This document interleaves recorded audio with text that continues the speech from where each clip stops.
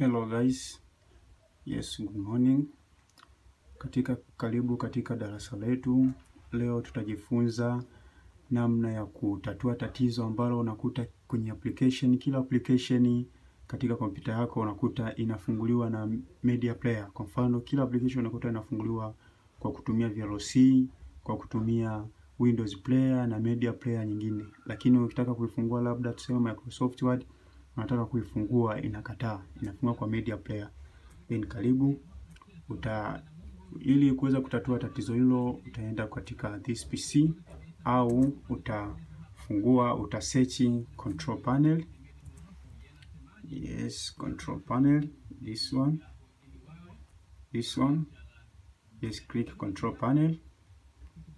Baada ya kukliki control panel utakuja moja kwa moja kwenye kwenye hardware. Yes, all programs. Baada ya kuja kwenye programs, hapa utakutana na neno inaandikwa turn Windows features or off, on or off, then click turn Windows features this one, click. Baada ya hapo, subiri kwa muda, kuna pop up zinakuja. Yes, please wait.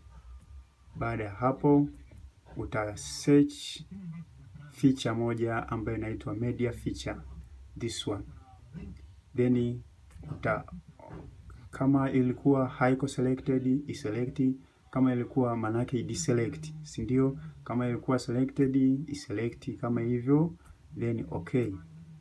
Baada ya hapo utakuwa tayari umeweza kutatua tatizo hilo la kila programu kufunguka kwa kutumia media player.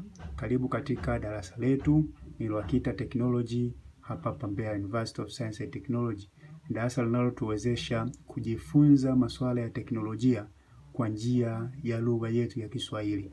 Asante.